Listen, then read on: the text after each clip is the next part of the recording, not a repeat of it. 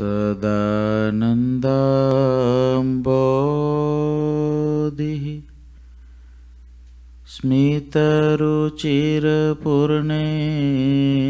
स्मितरुचिरपूर्णेन्दुवदन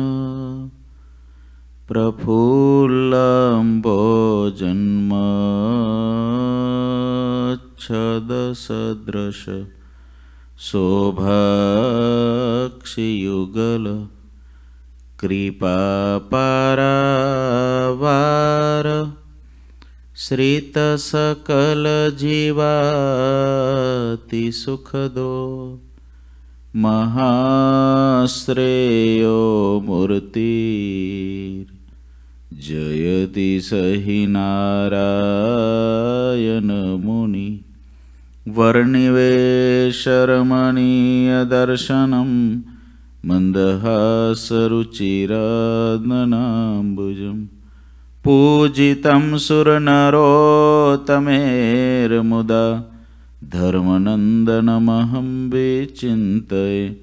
ॐ अवतारिणे श्रीस्वामिनारायणाय नमो नमः। ॐ श्रीहरिकृष्णाय नमो नमः। ॐ श्रीपूर्णपुरुषोत्तमाय नमो नमः બોલો શ્રી સ્વામિનારાયણ ભગવાનની જય. શ્રી હરિકૃષ્ણ મહારાજની જય. શ્રી ઘનશ્યામ મહારાજની જય. બધા ભક્તોને એથી જય સ્વામિનારાયણ. સદગુરુ નિષ્કુળાન સ્વામી ચોસઠપદી ગ્રંથની અંદર પદ ત્રેપન એમાં છેલ્લે એવી કથા લખે છે કે જે ભક્તના હૃદયમાં અંતરમાં વૈરાગ્ય વર્તે છે, જેને આ જગત સદાયને માટે સળગતું દેખાય છે. જેને ભગવાનની મૂર્તિ સિવાય ક્યાંય પ્રીતિ નથી, એવાની ઉપર ભગવાન બહુ રાજી છે. જેને ભક્તિ બહુ ભાવથી કરી છે, શરીરના સુખનો ત્યાગ કર્યો છે, જેને લગ્ની એક પરમાત્માની સાથે લાગી છે. કપટ રહિત જેને ભગવાનની સેવા કરી છે, તો પ્રભુના પદને પામી ગયા છે ને ભવજળ તરી ગયા છે. જીવનમાંથી કપટનો વિદાય થાય અને ભગવાનની ભક્તિ જાગે, એટલે એ ભવજળ સાગરને તરી ગયો છે. સ્વામી કે એમાં સંશય લાવવા જેવો નથી, એ તો છતે દેહે ધામને પામી રહ્યો છે. આગળ સ્વામી પદ ચોપનમાં લખે છે. એવાને સંગેથી અક્ષરધામે જવાય છે જો જરૂર રે. બીજાને સંગે તો સુખ ન પામે. દુઃખ રહે ભરપૂર રે. જેને જાવું હોય જમને હાથે. દક્ષિણ દેશની માય રે. તે તો સુખે રહો કપટી સાથે. તેનું કહેતા નથી કાય રે પણ જાવું જેને પ્રભુજી પાસે, તેને કરવો તપાસ રે. અંતરે બીજો તજવો આસે થઈ રેવું હરિના દાસ રે. આવી વાત અંતરે ઉતારી કરી લેવું નિજ કામ રે. નિષ્કુળાનંદ કહે વિચારી, તો પામીએ હરિધામ રે. નિષ્કુળાનંદ કહે વિચારી, તો પામીએ હરિધામ રે. સદગુરુ નિષ્કુળન સ્વામી. પદ ચોપનની અંદર એમ કે છે, જે ભગવાનના એવા મોટા ભક્ત છે, જે મોટા સંત છે, જેને શરીરના સુખનો ત્યાગ કર્યો છે, જેને કપટનો ત્યાગ કર્યો છે, જેને ભગવાનના ચરણારવિંદની અંદર ભક્તિ સદાયને માટે લાગેલી છે જેને આ લોક છે એમાં ક્યાંય પ્રીતિ નથી, આ લોકના સુખ જેને અંગારા જેવા લાગે છે. જેને ચાર પ્રલયની વ્યક્તિને સારી રીતે જાણી છે, નિત્ય, નિમિત્ત, પ્રાકૃત અને આત્યંતિક પ્રલયની વ્યક્તિને સારી રીતે જાણીને બૃહદ વૈરાગ્યથી ભગવાનની અંદર જે ચોટેલા મહામુક્તો છે, એવા મુક્તાત્માઓ અહીં આગળ નિષ્કુળાન સ્વામી લખે છે એવાને સંગેથી અક્ષરધામે જવાય છે જો જરૂર રે આપણી સ્થિતિ એવી નથી કે આપણને આ જગતના સુખ લુખ્ખા લાગે. એટલી આપણી સ્થિતિ નથી. એવી આપણી પાસે સમજણ નથી. એવું આપણી પાસે અનુસંધાન નથી. ભગવાનમાં પ્રકૃષ્ટ, ઉત્કૃષ્ટ એવી આપણી પાસે ભક્તિ નથી. જ્ઞાન પણ આપણી પાસે એટલું નથી. વૈરાગ્ય પણ એટલો નથી, ધર્મની દ્રઢતા પણ એટલી નથી. આપણામાં મુમુક્ષુતા ચોક્કસ છે, પરંતુ ધર્મ, જ્ઞાન, ભક્તિ, વૈરાગ્યની જે ઉત્કૃષ્ટ કક્ષાઓ ત્યાં સુધી આપણે પહોંચેલા નથી, પહોંચી શકીએ એવા નથી, તો નિષ્કુળન સ્વામી બીજો ઉપાય બતાવે છે. આપણે જાતે ન જઈ શકીએ, આપણે જાતે ત્યાં સુધી ન પહોંચી શકીએ તો જે પહોંચેલા છે. એવાને સંગેથી અક્ષરધામે જવાય છે જો જરૂર રે. અક્ષરધામને પામવાની આપણી પોતાની સ્થિતિ ન હોય, તો અક્ષરધામમાં જે જાય એવા છે, અક્ષરધામમાંથી જે આવેલા છે, કાં આવેલા છે, કાં જાય એવા છે, એવાને સંગેથી અક્ષરધામે જવાય છે જો જરૂર રે. નિષ્કુળન સ્વામીનો મારેલો આ સિક્કો, શ્રીજી મહારાજનો મારેલો વચનામૃત વરતાલનું પાંચમું, સારંગપુરનું દસમું, એની અંદર મારેલો સિક્કો, એ કોઈ દી અન્યથા નહીં થાય. કોઈ દિવસ અન્યથા નહીં થાય. યાદ રાખીએ, શાસ્ત્રની અંદર ઇન્દ્રિયો અંતઃકરણને જીતવાની વાતો છે. શાસ્ત્રની અંદર પંચ વિષયના ખંડનની વાતો છે. અને શાસ્ત્રની અંદર ભગવાન અને મોટાની પ્રાપ્તિ થઈ છે એના મહિમાની પણ વાતો છે. બંને વાતોનો વિરોધાભાસ શાસ્ત્રનું ચિંતન મનન કરનારાને ખબર પડે, શાંતિથી શ્રવણ કરવાવાળાને ખબર પડે કે પંચ વિષયના ખંડનની વાત જ્યારે આવે ત્યારે શાસ્ત્રો એમ કહે છે, જો પંચ વિષયમાંથી પ્રીતિ નહીં ટળે, તો કોઈ કાળે ધામને નહીં પામો. ઇન્દ્રિય અંતકરણ નહીં જીતાય, તો કોઈ કાળે ભગવાનના ધામને નહીં પામો. અને એક બાજુ ઉપર શાસ્ત્ર એમ કહે છે, ભગવાનને મોટા મળ્યા, જરૂર અક્ષરધામે જવાય. વાત કઈ સાચી છે? શાસ્ત્રોને વાંચતા બંને બાજુના પક્ષો એટલા મજબૂત બને છે. પ્રથમનું અઢારમું વાંચો તો કે આ પ્રમાણે વર્તે એ જ મુક્ત થાય છે. વચનામૃત શાસ્ત્ર. એ જ શાસ્ત્રનો બીજો પાર્ટ એમ કે છે, ભલે તમે એવા નથી, ભલે તમે એવા નથી. મધ્યના અડતાલીસમાં કે તમે ભલે એકાંતિક નથી કહેતા પ્રથમના અઢારમાની જે આખી ભૂમિકા છે, એવું આપણું માનસ કે આપણું જીવન કે આપણો આત્મા એ પ્રમાણે કેળવાઈ શકે એવો આ જન્મે છે જ નહીં. તો પ્રથમના અઢારમાં પ્રમાણે તો આમ નહીં થાવ તો ભૂત કે બ્રહ્મ રાક્ષસનો દેહ આવશે. આ શ્રીજી મહારાજનું વચન છે. આટલી સોલિડ વાત પ્રથમના અઢારમાં કરે છે. એ જ શ્રીજી મહારાજ મધ્યના અડતાલીસમાં કહે છે કે એવા ન થવાય.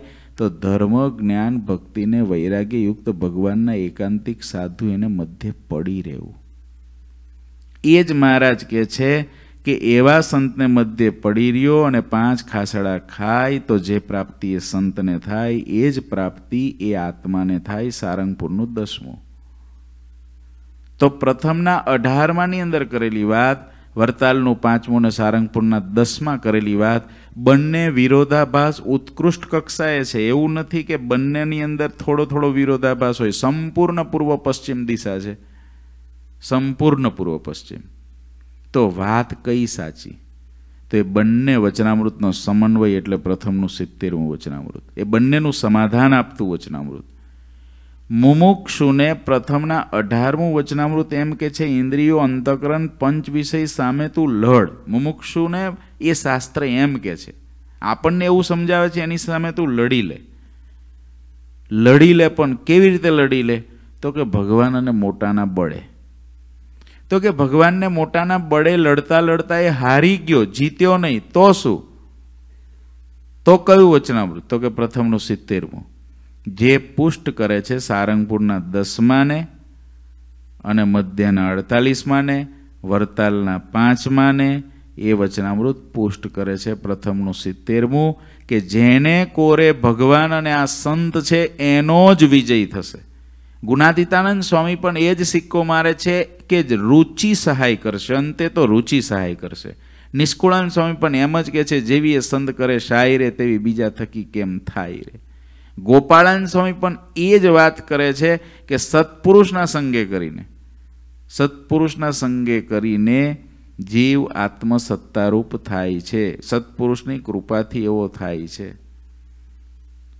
ગોપાળાનંદ સ્વામી પણ પ્રથમ પ્રકરણ ત્રીજાની બાવીસમી વાતમાં એમ જ કે છે તીર્થ શાસ્ત્ર સત્પુરુષ, અરે તીર્થ શાસ્ત્ર સાધુ ને દેવ એ બધાય કરતા સત્પુરુષમાં અધિક પ્રીતિ કરવી. શા માટે? એ ચારેવ કરતાં સત્પુરુષમાં અધિક પ્રીતિ કરવાનું સ્વામીએ પ્રથમ પ્રકરણની, અરે પ્રકરણ ત્રણની બાવીસમી વાતમાં આ પ્રકારનું સ્ટેટમેન્ટ સ્વામીએ શા માટે આપ્યું છે? કારણ એ છે ઝાઝા જીવોને મહાપ્રલય નજરની સામે દેખાય. જ્યાં જીવોને આત્યંતિક કલ્યાણનું અનુસંધાન રહે. જ્યાં જીવોને નિત્ય નિમિત્ત પ્રાકૃત અને આત્યંતિક નજરની સામે દેખાય એ વાત બહુ અશક્ય છે. એમાંય કળિયુગનો જીવાત્મા, જ્યાં વૈભવ, જ્યાં કળિયુગનું સંપૂર્ણ વાતાવરણ, એની મધ્યે. એ જીવાત્માઓને ભગવાન પરક જ વૃત્તિ રાખવી અતિ કઠણ છે. એ શાસ્ત્રકારોને ખબર છે. એ શ્રીજી મહારાજ અક્ષરધામમાંથી આવ્યા, એ કળિયુગને પસંદ કરીને આવ્યા છે. એ સર્વજ્ઞ પરમાત્માને એનું ચોક્કસ ખબર છે કે આ જીવ કોઈ રીતે મને નહીં પામે. જો હું એવી શરત મૂકી દઈશ, પ્રથમનું, અઢારમું, એ એકલી જ શરત આખા વચનામૃતમાં મૂકી રાખીશ, તો આ જીવાત્મા મને કોઈ દિવસ નહીં પામી શકે. એટલે મહારાજે દયા કરી, દયા. જેને કહેવાય ને કે કોઈ કાયદો પસાર કર્યો છે ઇલીગલ એક આ દેશમાં આવવું નહીં, એ કાયદો છે, કોઈ ઇલીગલ રહેવું નહીં, એ કાયદો છે, પરંતુ અતિશય ઇલીગલની સંખ્યા વધી જાય અને કોઈ સરકાર એવી આવે એ વિચારે કે આટલા આટલા એક એક બબ્બે પાંચ પાંચ દસ દસ મિલિયન વ્યક્તિઓ જો ઇલીગલ હોય, એ બધાય ટેક્સ ભરે તો દેશને કેટલો ફાયદો થાય? એ જવાના તો છે જ નહીં. તો ચાલો એક કાયદો પસાર કરીએ કે આ જ દિવસ સુધી જેટલા આવ્યા છે બધાને લીગલ કરીએ છે. તો લીગલ થવા માટે, કોઈ દેશની અંદર લીગલ થવા માટે, કોઈ દેશનું સિટીઝનશીપ મેળવવા માટે તમને એમ લાગતું હોય કે અમેરિકાનું સિટીઝનશીપ અઘરું છે, અઘરું તો ભારતનું સિટીઝનશીપ છે. ભારતનો નાગરિક થવું એ કોઈ વ્યક્તિ પૈસા આપીને પણ ન થઈ શકે. એટલું કઠણ ભારતનું નાગરિક થવું છે. કદાચ કોઈને ખબર હોય કે ના હોય કે ભારતનું નાગરિક થવું કેટલું અઘરું છે. ભારતના ખેડૂત તરીકેનો દાખલો લેવો ને એ કેટલો અઘરો છે. સહેલો નથી. આ તો ભારતને આપણે સસ્તું કરી દીધું છે. બાકી ભારતે એવું છે. પણ કોઈ દેશ છે, અમેરિકા દેશ છે, બીજો કોઈ દેશ છે, લંડન દેશ છે, જે સારા દેશો કહેવાય છે, જે વિકાસશીલ દેશો કહેવાય છે, એવાની અંદર સિટીઝનશીપ મેળવવા માટે સારા ભણેલા વ્યક્તિઓને કેટલો સમય જાય છે. એચ વન વિઝા ઉપર આવેલાને કેટલો સમય જાય છે આ દેશમાં ગ્રીન કાર્ડ મેળવતા. પંદર પંદર, સત્તર સત્તર, અઢાર અઢાર, વીસ વીસ વર્ષ. ત્યાં સુધી લટકતી તલવાર જેવી દશા એ દેશમાં એવો કાયદો બહાર પડે, જેટલા ઇલીગલ છે એ લીગલ કરી દેવામાં આવશે. તો ખાલી કલ્પના કરો કે જેટલી એચ વનવાળાને સ્ટ્રગલ થઈ, જેટલી એને તકલીફ પડી, બીજા કોઈ વિઝાઓના જે કોઈ પ્રકારો હશે, એ લોકોને જેટલી તકલીફ પડી, ઓલાને કાંઈ ના પડી. અત્યાર સુધી જેટલું કમાયો એટલું ઘરમાં, રહ્યો એ એના ઘરમાં, અને સીધું જ ગ્રીન કાર્ડ મળ્યું. તો મફતમાં, કોઈ પણ પ્રકારના મહેનત વિના, કોઈ પણ પ્રકારની પ્રક્રિયા વિના, એવી રીતે આ સત્સંગની અંદર આપણી લાયકાત કેટલી છે ને, એ આ સત્સંગે જોયું નહીં એડમિશન આપી દીધું. મુમુક્ષુ થોડોક છે, એડમિશન આપી દીધું. એડમિશન આપી દીધું, આપણે ઘરી ગયા અંદર. હવે આપણે અંદર ધર્મ જ્ઞાન ભક્તિને વૈરાગ્ય, એને સંપૂર્ણ રીતે ફોલો થઈને રહેવાનું છે. પણ જીવ જન્મો જન્મનો પેલા ઢાળાનો એટલે ઘરી જાય એ બાજુ, એટલે ઇલીગલ જેવો રહે. પણ ભગવાન અને મોટાની કૃપા અહીંયા આગળ તો આપેલી છે એવું નથી કે સ્ટેટમેન્ટ ક્યારેક બહાર પડે. સ્ટેટમેન્ટ પહેલેથી આપ્યો છે. આવી તાકાતવાળા નથી તો વાંધો નહીં, એવા સંતને મધ્ય પડ્યા રહો. હું એ સમજાવવા માગું છું કે બળ આપણને ભગવાન અને મોટાનું હોવું જોઈએ. પંચ વિષય આપણને કેટલા રમાડી જાય છે, ઇન્દ્રિયો અંતકરણની રમત કેટલી આપણી સાથે રમી જાય છે, આપણે સુરવીર ચોક્કસ જોઈએ. આપણે લડતા ચોક્કસ હોવા જોઈએ. પરંતુ લડતા લડતા દસ વખત જીત્યા અને એક વખત હાર્યા, તો હિંમત હારવાની જરૂર નથી, વિચારવાનું છે, દસ વખત તો જીત્યો છું ને, તો એક વખત જે હારી જઉં છું એ પણ કોઈક દિવસ ભગવાન અને મોટાના બળે જીતીશ. અને કદાચ ન જીતી શક્યો, ન જીતી શક્યો, તો પણ ભગવાનને મોટા તો મારી હારે છે ને?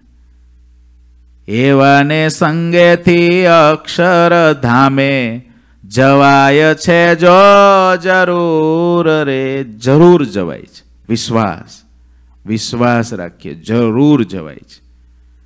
ભગવાન અને મોટાના બળે જરૂર જવાય છે. આ વાત આમ જ છે, આમ જ હતી આમ જ રહેવાની. ગુણાદિતાનંદ સ્વામીના મતે ગોપાળન સ્વામીના મતે નિષ્કુળન સ્વામીના મતે, મુક્તાનંદ સ્વામીના મતે, શ્રીજી મહારાજના મતે આ વાત આમ છે. આ ભગવદ્ ગીતા નથી. ભગવદ્ ગીતાની અંદર તો વાંચો ને, તો હિંમતો તૂટી જાય. કે આવો તો સ્થિત પ્રજ્ઞની કેવી સ્થિતિ, આવો છે અને કેવી સ્થિતિ. શાસ્ત્રની વાત ઘણી ઊંચી છે.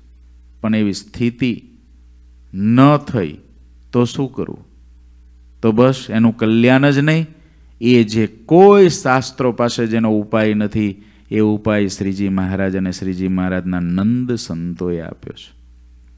જે ઉપાય કોઈ શાસ્ત્રમાં ન મળે, ગીતાના, ગીતાજીના શ્લોક છે, વિષય નિવર્તન તે, એ શ્લોક આખો, એ શ્લોક ઉપર શ્રીજી મહારાજે વચનામૃતની અંદર કેટલું સુંદર એનું વિવેચન કર્યું છે. વિષયથી તો નિવૃત્ત થયો, પણ વિષયના રસથી નિવૃત્ત ત્યારે જ થાય છે. પરમ દ્રષ્ટવા નિવર્તતે. ભગવાનના દર્શન થાય ત્યારે. એ વાત ઉપર આજ સુધીના કોઈ શાસ્ત્રોએ જે વિવેચન ન કર્યું એવું શ્રીજી મહારાજે કર્યું છે. માટે વચનામૃત જેવું કોઈ શાસ્ત્ર નથી. નંદ પંક્તિના સંતોએ રચેલા જે શાસ્ત્રો છે, એનાથી ઊંચા કોઈ શાસ્ત્ર આ પૃથ્વી પર થયા નથી થશે નહીં. શ્રીજી મહારાજના સ્થાપિત, શ્રીજી મહારાજના દીક્ષિત, શ્રીજી મહારાજના સ્થાપિત આ સંપ્રદાયને શ્રીજી મહારાજના દીક્ષિત સંતોએ જે રચ્યું છે, એ પ્રાકૃત હોય તોય ભલે, સંસ્કૃત હોય તોય ભલે, બીજી કોઈ પણ ભાષાની અંદર હોય તોય ભલે, પણ એ શ્રીજી મહારાજનું ને શ્રીજી મહારાજના નંદ સંતોનું રચેલું જે સાહિત્ય છે, એ સાહિત્ય જેવું કોઈ સાહિત્ય આ પૃથ્વી પર થયું નથી. એની અંદર જે આત્યંતિક કલ્યાણના ઉપાયો છે, જીવ સહેજે ભગવાનના ધામને પામી જાય. કેટલું બળ આવે. એવાને સંગેથી અક્ષર ધામે, જવાય છે જો જરૂર રે. સંગ એવાનો રાખવાનો છે બસ. મન, કર્મ, વચને એવા જે છે એનો સંગ. આપણે એવા ન હોઈએ, પણ એવાને ઓળખતા તો હોઈએ ને કે આ એવા છે. એવા મોટા પુરુષને એવા સંતો ભક્તોને આપણે જાણતા તો હોઈએ ને કે આ એવા છે. આપણે એટલા બધા ગોળ જેવા તો ના હોઈએ ને કે આપણને કોઈની ખબર ન પડે. આપણને પોતાની ખબર પડે, એમાં આપણને બીજાની સ્થિતિની પણ ખબર તો પડે છે ને કે આ બહુ મોટા છે, બહુ મહાન છે, બહુ મહાન છે. આ બહુ ભગવાનને વહાલા છે. આમનાથી ભગવાન બહુ નજીક છે. આમ આપણને જો ખબર પડતી હોય, તો એવાનું બળ રાખવું. એવાનું બળ. આપણે ઇન્દ્રિયો અંતઃકરણને પંચ વિષયથી કેમ કેટલીક વાર થાકી જઈએ? કારણ એ છે કે આપણે બળ આપણું રાખીએ છીએ. આપણે બળ આપણું રાખીએ છીએ. આપણને એમ છે, હું જીતી જઉં એને અને હું આવું કરી દઉં, હું આવું કરી દઉં. આપણે કરવું છે એવું, પણ ભગવાનને મોટાના બળે, ભગવાનને મોટાએ બળ આપ્યું છે. એની અંદર આપણી કોઈ ગાફલતાને કારણે એવું નથી થતું, પણ ભગવાનને મોટા ક્યાં વેચી ખાધા છે? ઇન્દ્રિયો અંતઃકરણ આપણને હેરાન કરી જાય, પણ ભગવાનને મોટાને આપણે વેચી નથી ખાધા. ભગવાનને મોટાને તો આપણે સદાય ભેગા રાખ્યા છે. માટે ભગવાનને મોટાનું બળ બહુ જીવમાં રાખીએ, અતિશય રાખીએ. એવા મોટા છો મહારાજ, જીવન જાણું છું. તે મળ્યા છો મને આજ જીવન જાણું છું. એક વાત બહુ નક્કી છે. જે પોતાને મળેલી પ્રાપ્તિના કેફમાં ને ગૌરવમાં જીવતો હોય ને, એને ઇન્દ્રિયો અંતકરણને પંચ વિષય ઓછા હેરાન કરે. એનો કેફ અને ગૌરવની તાકાત છે. એનો કેફ ને ગૌરવ કે આ કેવા મોટા મહારાજ મને મળ્યા છે. મારા મહારાજે મારા માટે શું નથી કર્યું? મારા મહારાજે મારા માટે બસો વર્ષ પહેલાંથી આયોજન ચાલુ કર્યું. તે દિવસે મારા માટે પોતે તપ કર્યું. તે દિવસે મારા માટે વન વિચરણ કર્યું. એ બધા તપનું સુખ મને દીધું. ત્યારથી માંડીને આ જ દિવસ સુધી બસો વર્ષ, અઢીસો વર્ષ પછી મારો મનુષ્ય જન્મ કોઈ સારા પરિવારમાં, ત્યાંથી મને કોઈ સત્પુરુષનો યોગ, ત્યાંથી મને શાસ્ત્રોનું જ્ઞાન, ત્યાંથી મને રોજ ભગવાનની આરતી, કથા, વાર્તા રૂડા સંતોનો સંગ ત્યારથી મને રૂડા ભક્તોનો સમુદાય, ઓહો હો મારા મહારાજે કેવું આયોજન મારા માટે કર્યું? આપણે વિચાર કરીએ. મારા મહારાજે મારા માટે કેવું આયોજન કર્યું આ? કેવું આયોજન કર્યું?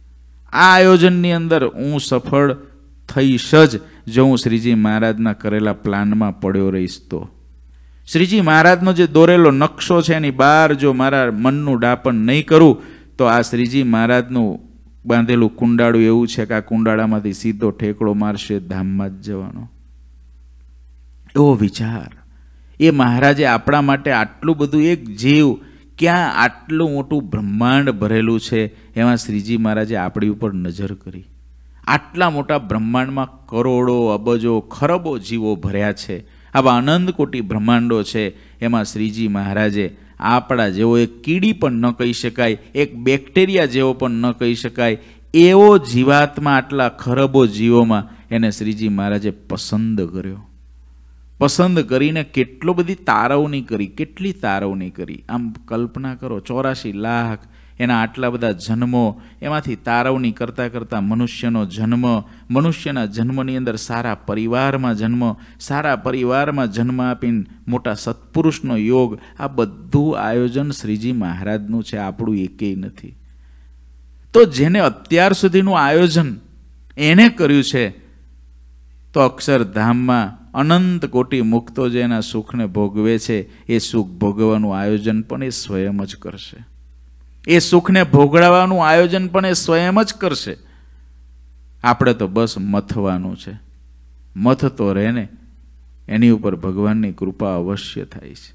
મથવું એ આપણો ધર્મ છે. પહોંચાડવું એ મહારાજને મોટાનો ધર્મ છે. મથવાનો આપણો ધર્મ છે. ગાફલ રહેવાનો ધર્મ નથી. ભગવાનને મોટાના માથે બધું નાખી દેવાનું એવો આપણો ધર્મ નથી. મથવું, ઠેક સુધી લડવું, પુરુષ પ્રયત્નથી જીવવું ભગવાનને મોટાના બળે પુરુષ પ્રયત્ન કર્યા કરવો એ આપણું મત, આ એ આપણું કરવું છે અને ઠેક પહોંચાડવા એ ભગવાન અને મોટાની ફરજ છે. એનો ધર્મ છે. એનો ધર્મ એને નિભાવવા દઈએ. આપણો ધર્મ આપણે પાડીએ. કોઈ દિવસ કલ્યાણના માર્ગમાં બળ નહીં તૂટે. કોઈ દિવસ હિંમત નહીં તૂટે. કોઈ દિવસ કલ્યાણના માર્ગની અંદર ખચકાટ નહીં થાય. મારું શું થશે? એમ નહીં થાય. આ મહારાજ, આ ભગવાનના મોટા સાધુ. શ્રી સ્વામી વાતોમાં કે આ તો મહિમા જેવો છે, એવો કહીએ ને તો કોઈ વર્તમાન પાડે નહીં. વર્તમાન પડાવવા છે, આ પ્રથા ચલાવવી છે. એટલે સ્વામી કે જેવો છે, એવો મહિમા કહેતા નથી. બહુ દિવ્ય અને બહુ ઊંચી પ્રાપ્તિ છે, બહુ ઊંચી પ્રાપ્તિ.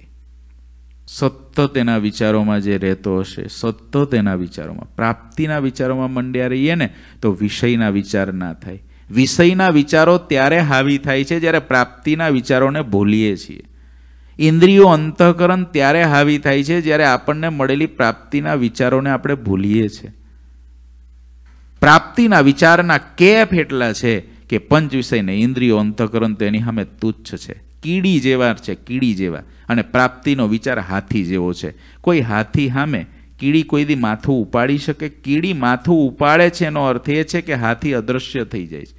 પ્રાપ્તિનો વિચાર જ્યારે આપણા જીવનમાંથી ને જીવમાંથી અદૃશ્ય થાય એટલે તરત જ ઇન્દ્રિયો અંતકરણ રૂપી કીડીઓ આપણને કડવા લાગે. અને જેવો પ્રાપ્તિનો વિચાર પાછો આપણા હાથમાં આવે, આવા મહારાજ, આવા મોટા પુરુષ, આવા ભગવાનના સંતો, ભક્તો, ઓહો ઓહો ઓહો ઓહો. પ્રથમના ઇઠ્યોતેરમાં પ્રમાણે અહો અહો અંતરની અંદર થયા કરે, એનો આનંદ વર્ત્યા કરે, ત્યારે ઇન્દ્રિયો અંતકરની તાકાત નથી. અહોભાવમાં જીવતો હોય, એને હેરાન કરી શકે. પંચ વિષયની તાકાત નથી અહોભાવમાં જીવતો એને હેરાન કરી શકે. આપણી એટલી જ ભૂલ છે જે મળ્યું છે, એનો વિચાર છૂટી જાય છે.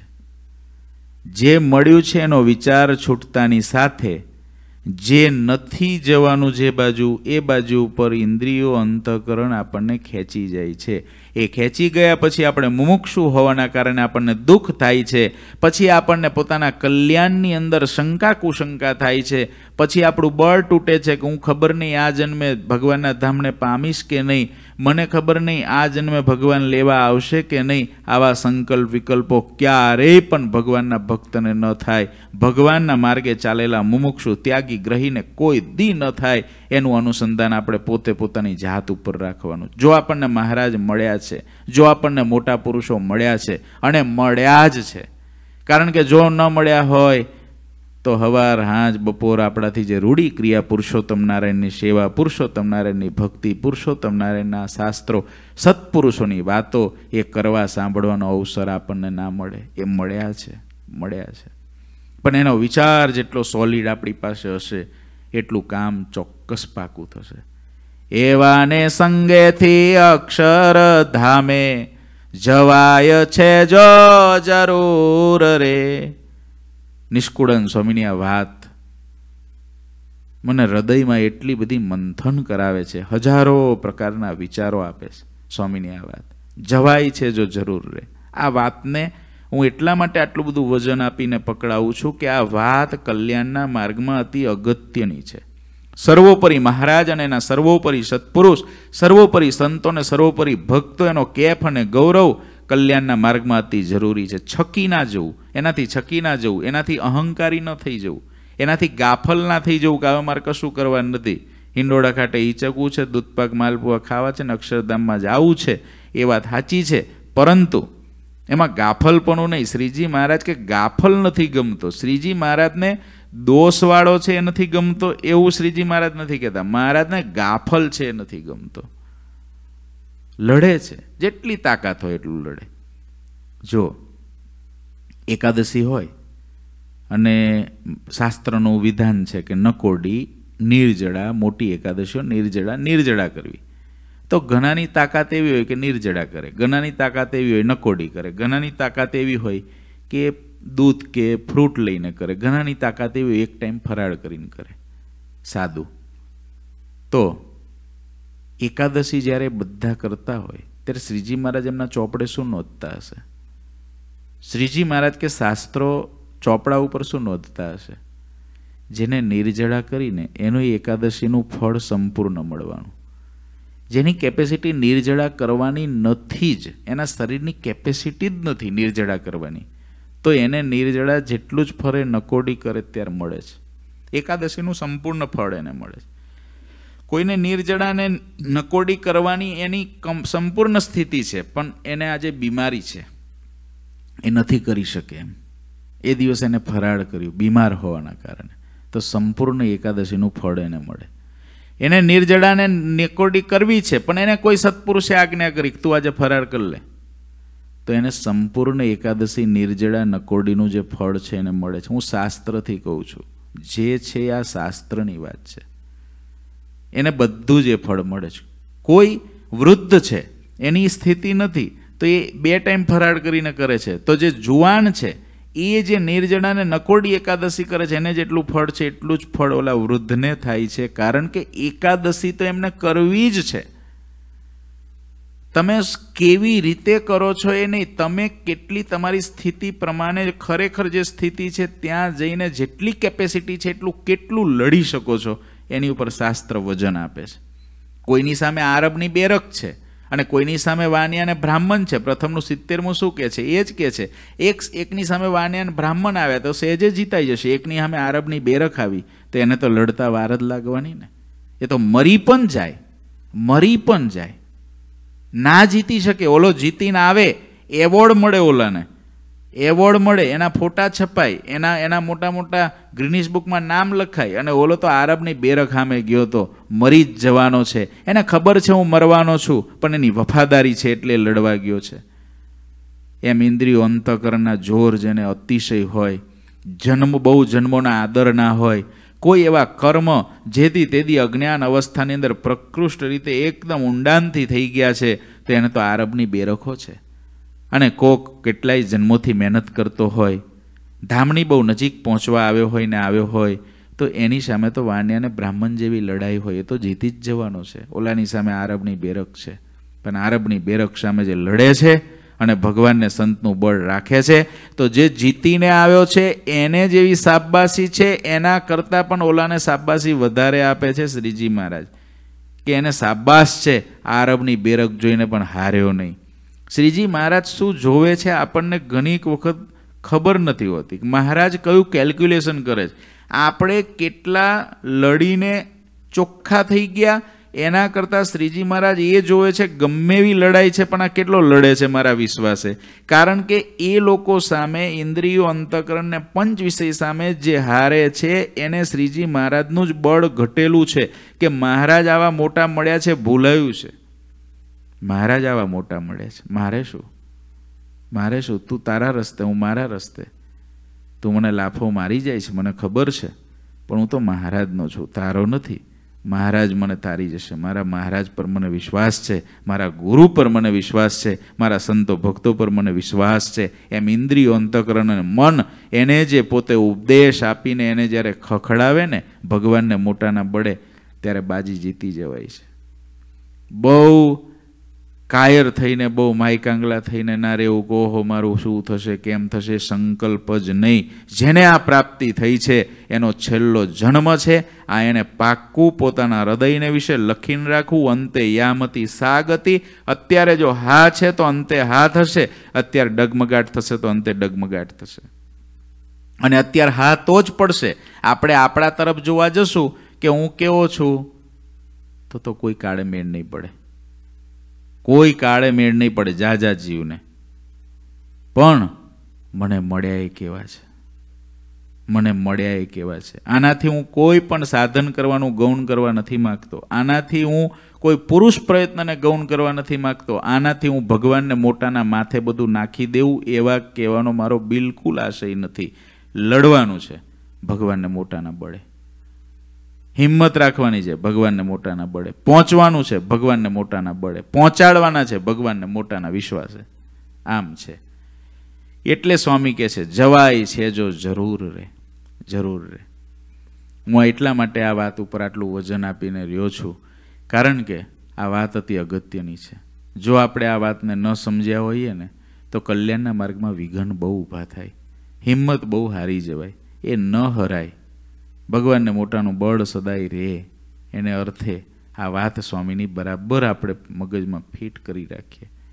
બીજાને સંગે તો સુખ ન પામે, દુઃખ રહે ભરપૂર રે. બીજાને સંગે સુખ ના થાય. જે એવા છે, એવાના બળેથી ધામમાં જવાય.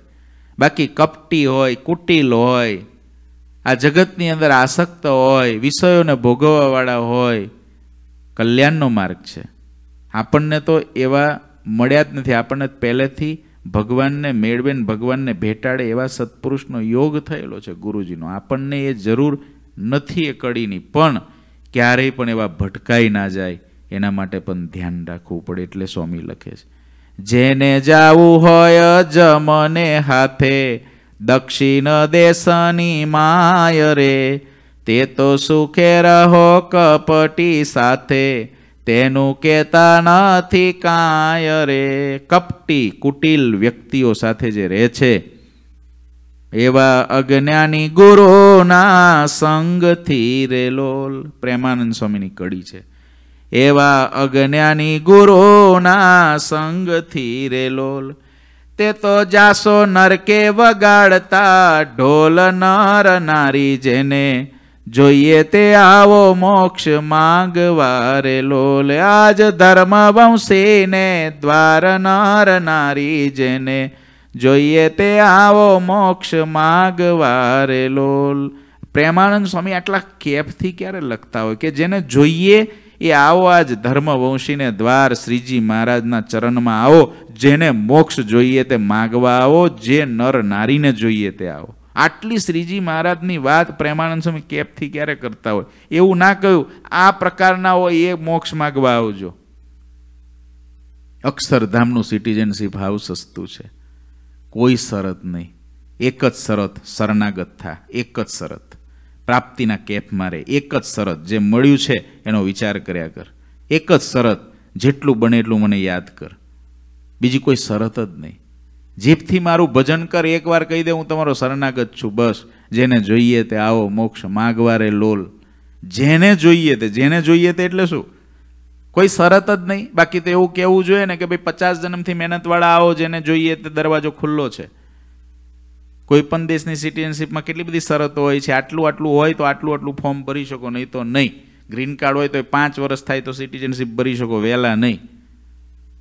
શ્રીજી મહારાજને ત્યાં કોઈ શરત નહીં. આ જન્મનો આદર છે? આવી જાઓ, મોક્ષ થશે. પચાસ જન્મનો આદર છે? આવી જાઓ, કલ્યાણ થશે. એક લાખ જન્મનો આદર છે? આવી જાઓ, બાકી રહી ગયું કામ થઈ જશે. હજારો, કરોડો જન્મનો આદર હોય. આજનો આદર હોય. અરે, આજનો આ જન્મનો નહીં, એક કલાક પહેલાંનો આદર હોય. તો પણ શ્રીજી મહારાજ કે કામ થઈ જશે. શ્રીજી મહારાજ સર્વસમર્થ છે. શ્રીજી મહારાજ સર્વોપરી છે. શ્રીજી મહારાજ બધાના ઉપરી છે. શ્રીજી મહારાજ તો ધારે થાય એની કલ્યાણ કરવાની રીત એના ઘરની છે. એના ઘરમાંથી લઈને આવેલા છે. ધારે કાયદો બનાવી શકે ને ધારે કરી શકે એ શ્રીજી મહારાજનું સામર્થ્ય છે.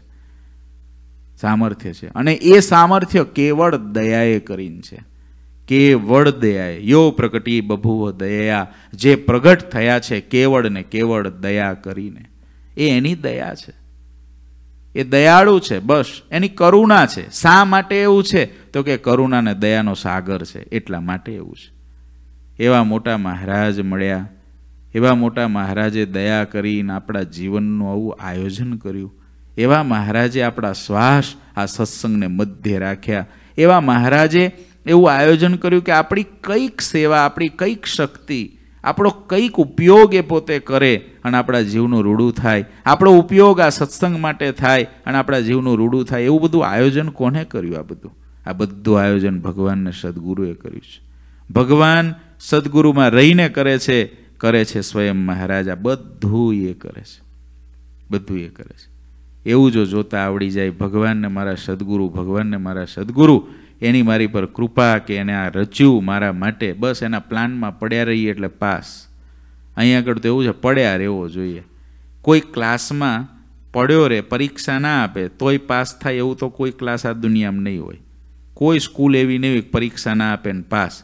સત્સંગમાં તો કેવું સરસ કર્યું. ખાલી પડ્યો રે, ક્લાસમાં આવીને બેસવાનું, હાજરી જ પુરાવાની. બીજું કાંઈ નહીં કરવાનું, હાજરી પુરાવાની, ગેરહાજર નહીં રહેવાનું. હાજરી પુરાવો એટલે પાસ. આટલું સહેલું કરે, આટલું સહેલું કરે, પરીક્ષા તો લે છે. પણ છતાંય કે પરીક્ષામાં તું પાસ ના થાય તો કાંઈ નહીં, આપવા આવવાનું અને ક્લાસ ભર્યા કરવાના. પડ્યો રે. જે પ્રાપ્તિ પહેલા નંબરવાળાને થશે, એ જ પ્રાપ્તિ તું પરીક્ષામાં કંઈ નહીં લખે તોય થશે. આટલું સહેલું જો કોઈ જગ્યાએ હોય અને છતાં પણ હિંમત તૂટતી હોય તો આપણું અજ્ઞાન છે. છતાં પણ આપણી અંદર કાયરપણું આવતું હોય તો આપણું અજ્ઞાન છે. છતાં પણ આપણી અંદર ગાફલપણું આવતું હોય તો આપણું અજ્ઞાન છે. બસ, પહોંચી જવું, હાજરી આપવી. ભગવાનને મોટાના બળે બળિયા રહેવું. આપણા બળે નહીં, પણ ભગવાનને મોટાના બળે બળિયા રહેવું. પણ જાવું જેને પ્રભુજી પાસે, તેને કરવો તપાસ રે. અંતરે બીજો તજવો આશે, થઈ રેવું હરિના દાસ રે. જેને ભગવાનની પાસે જવું હોય સ્વામી કે એને તપાસ કરવો. અંતરે બીજો તજવો આશે, બીજી બધી આશા છોડવી. થઈ રહેવું હરિના દાસ રે. અનંત પ્રકારની આશાઓ આ જીવની અંદર પડી છે. અનંત પ્રકારના રાગો આ જીવમાં પડ્યા છે. એ બધી આશાઓને છોડીને આપણા આશયને ચોખ્ખો કરવો, ભગવાનના દાસ થવું. ભગવાનનો જે દાસ થાય ને, એ બધાનો દાસ થઈ શકે. જેટલા આપણે બીજાના દાસ નથી થઈ શકતા, બીજા આગળ આપણે આપણી ન્યૂનતા નથી સ્વીકારી શકતા, એટલા ભગવાન પાસે જ આપણે સ્વીકારી નથી. કારણ કે બીજાના હૃદયમાં ભગવાન રહ્યા છે. જે ભગવાનના ભક્ત કહેવાય છે એના હૃદયમાં ભગવાન રહ્યા છે, ભગવાને જ એને બધું આપેલું છે, એનો આપણે સ્વીકાર નથી કરતા, એની સાથે આપણને ઈર્ષા થાય છે, રાગ થાય છે, જે કાંઈ થાય છે, બધાનું કારણ છે, ભગવાનના જ આપણે દાસ થવામાં ખામી છે, જે ભગવાનનો દાસ થાય, એ તો સર્વનો દાસ થઈ જાય, જે ભગવાનને વાલો થાય બધાઈને વાલો થઈ જાય. જે ભગવાનને રાજી કરી લે, એ બધાઈને રાજી કરી લે. જે ભગવાનને પામી જાય, એ બધુંય પામી ગયો. જે ભગવાન શીખી ગયો, એ બધું જ શીખી ગયો. જે ભગવાન ભણી ગયો, એ બધું જ ભણી ગયો. મહારાજ એવા છે. માટે બધા જ આશયો બહુ પ્રકારના હોય છે. જીવના અનેક પ્રકારના અજ્ઞાનજન્ય આશયો હોય છે. એ અજ્ઞાનજન્ય આશયોને છોડીને એક બસ ભગવાનનો દાસ બનો, ભગવાનના દાસનો દાસ બનો. મારા મહારાજ હોય, એના જે દાસ હોય, એનો દાસ બનો. હે મહારાજ, મને એવી બુદ્ધિ આપજો, મને એવા વિચારો આપજો, મને એવું વર્તન આપજો. હું સર્વથી ન્યૂન મારી જાતને વિચારી શકું. હું સર્વનો દાસ થઈ શકું. તમારા ચરણની રજ થઈ શકું. રોજ ભગવાન પાસે એવું માગવું. રોજ ભગવાનને એવી પ્રાર્થના કરવી. રોજ એવા વિચારોને કરે. જે દાસ થઈને રે આવી વાત જે અંતરે ઉતારે, આવી વાત અંતરે વિચારી, અંતરે ઉતારી કરી લેવું નિજ કામ રે. દાસના દાસ, ગુરુજી કહે છે ને, દાસના દાસ બસ. દાસના દાસ જે થાય, આવી વાત જે અંતરમાં ઉતારે, પોતાનું કામ કરી લેવું. આ સત્સંગની અંદર સ્વામી કે બીજા આશયો ના રાખવા. મારું નામ થાય ને મારું આ થાય ને મને આગળ બેહાડે ને આગળ બોલાવે ને ઉપર બોલાવે. બહુ ભગવાનને ગુરુજીની કૃપા છે.